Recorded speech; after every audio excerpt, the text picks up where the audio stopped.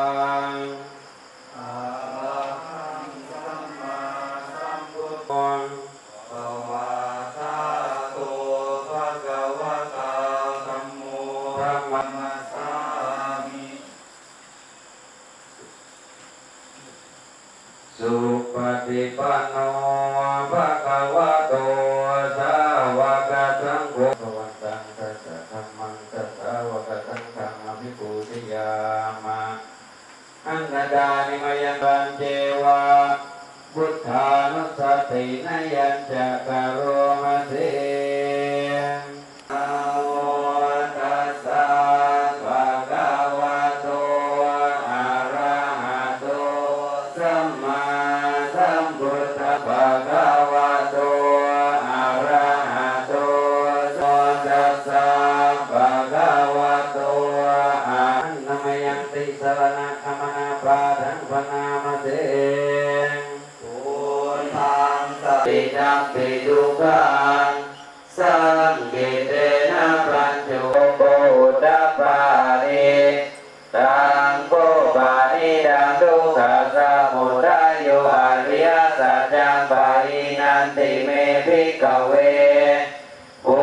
เปจังทุกขานิโรธาคามินิปฏิปทาอริยสัจจังภาเวตปันติเมภิกเว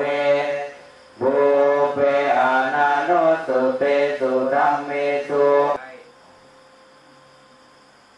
ตั้งกายให้ตรงตรงดิเออนะโทลมหายใจเข้าพุทลมหายใจออกโทพุทเอาแค่นี้แหละ ไม่ต้องไปคิด จิตเป็นนายกายเป็นบ่าวนะเพราะฉะนั้นเราต้องรักษาจิตของเรา ทุกคนมีจิตทั้งนั้นแหละ มีหน้าที่ต้องรักษามาในพุทธศาสนาแล้วเราต้องรักษาจิตของเรา รักษายังไง รักษาแม่ให้มัน ฟุ้านวุ่นวายแม่ให้มันคิดไปทั่ว เราจับไว้ที่พุทโธลมหายใจเข้าพุทลมหายใจออกโธพรามอินทรพรามนี่ก็เรียกว่าเป็นพรามที่เหนียวไม่เคยพาลูกไปทำทานรักษาศีลภาวนาแล้วไม่เคยให้ใครเลยดีกว่า แม้แต่หมาแต่แมวก็ไม่ให้อาหารการกิน เพราะว่าแกขี้เหนียวจะไม่ให้ไม่ให้ใครเลย ทีนี้อยู่มาพออายุลูกแกอายุได้16ปี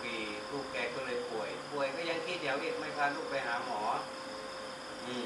ไม่พาลูกไปหาหมอ แต่ไปไปหลอกถามหมอว่าหมอลูกฉันตัวเหลืองๆทำไงดี หมอเขาก็บอกมาให้เอายาต้องเอายานี้กิน แต่ก็เขาก็ไม่บอกครบไม่ได้รักษา จนมาถึงวันหนึ่งลูกแกก็ป่วยหนักมาก ก็เอาไปไว้ที่นกชานเอาไปไว้ที่นกชานน่ะเพ ราะอะไรรู้เปล่าเอาไว้ในบ้านกลัวญาติพี่น้องมาเยี่ยมแล้วจะมาขอทรัพย์สินแกขี้เหนียวขนาดนั้นเลยนะลูกนะก็เรียกว่าอิตาพามขี้เหนียว เด็กอายุ 16 ปีไปนอนอยู่ที่ระพิยานพระพุทธเจ้ารู้ทุกอย่างนะลูกรู้ทุกอย่างไม่มีอะไรปกปิดท่านได้ท่านก็รู้ว่าท่านก็เลยเปล่งฉับพลันธรังสีเรียกว่ารังสีที่อยู่บริเวณเสียง